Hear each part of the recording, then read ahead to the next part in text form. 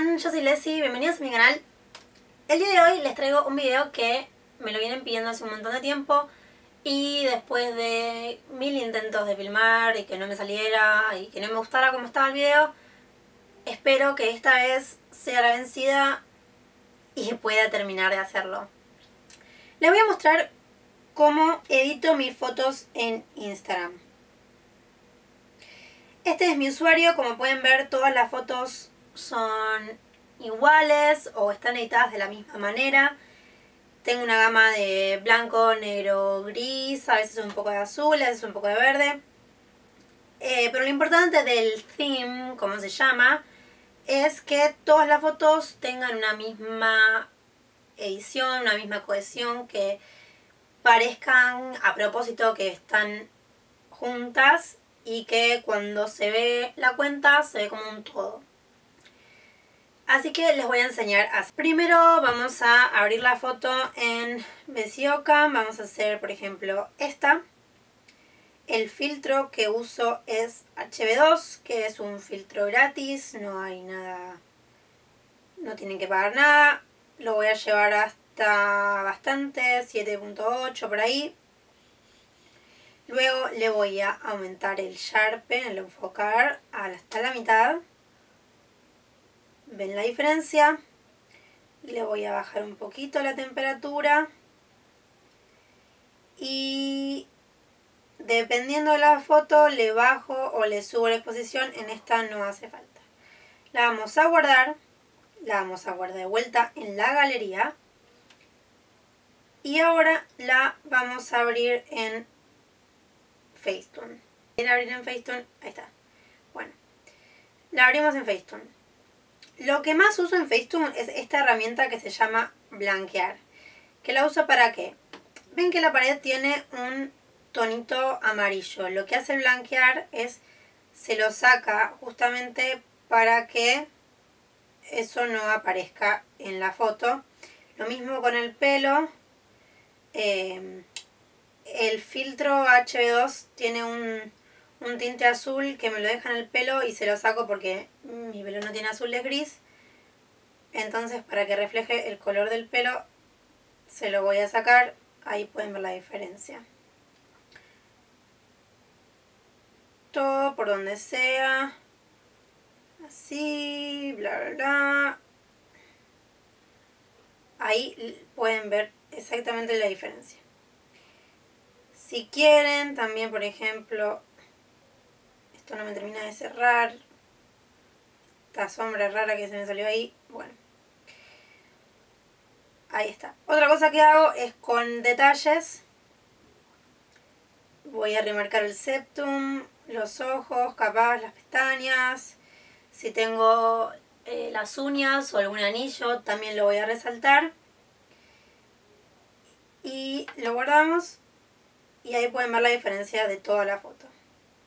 La vamos a guardar nuevamente y listo. Esa es una foto como típica de edición de una selfie, por ejemplo. Ahora vamos a abrir otra foto que puede ser algo más dramático. Esta, bueno. vamos a volver al original. Ahí está. Como pueden ver, esta foto tiene mucho color que no me sirve, pero me encanta la foto. Entonces vamos a hacer exactamente lo mismo. Voy a copiar, esto es muy, muy útil, voy a copiar las ediciones y las voy a pegar en la foto que quiero editar. Pero como por ejemplo, el filtro acá es demasiado vibrante, voy a usar el de al lado, que es HB1, que le saca un poco la saturación. Pero igualmente sigue teniendo un tinte bastante azul porque se lo, se lo pusimos a la otra y se lo vamos a sacar en esta. Lo guardamos. A abrir la foto en Snapseed. A ver, acá. Y Snapseed lo que tiene es que pueden usar la herramienta pincel y tienen todas estas cosas Vamos a usar la de saturación, le vamos a bajar la saturación, menos 5 y vamos a todo pintar, pintar, pintar y le vamos a sacar la saturación, es como pasarlo blanco y negro pero, pero no tanto. así, como quieran. Si quieren, luego de vuelta con el pincel, ven, le pueden aumentar la exposición para que quede más brillante, pueden subexponer o sobreexponer para resaltar algunas cosas y que quede un poco más oscuro. Eh, que yo no lo hago, pero son cosas que se pueden hacer, tienen las herramientas, ahí pueden ver la diferencia. Otra, por ejemplo, que también uso es desde Facetune. Vamos a abrir una foto que ya está editada en Cam que es esta, por ejemplo. Que van a ver que tiene demasiado amarillo y con el blanquear en este caso no me sirve. Entonces lo que voy a hacer es ir a filtros, papel, black and white silver y listo. Y voy a borrar lo que no quiero que sea blanco y negro. Tengan paciencia, háganle suma a la foto lo que necesiten para que les quede como tienen ganas.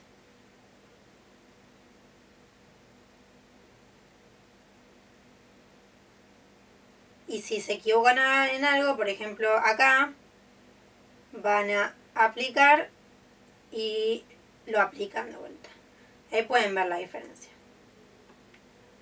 De vuelta le pongo todo lo de detalle, blanquear si necesito, como por ejemplo acá el teléfono, que todavía tiene un poco de amarillo, entonces lo vamos a sacar.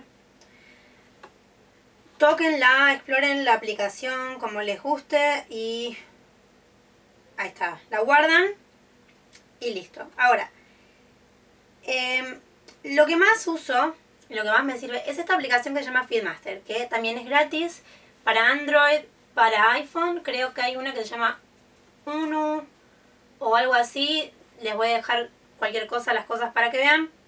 Y lo que hace básicamente es eso, planear el feed. Suben las fotos que quieren, ven cómo quedan, lo pueden mover a su gusto para que vean que les gusta más.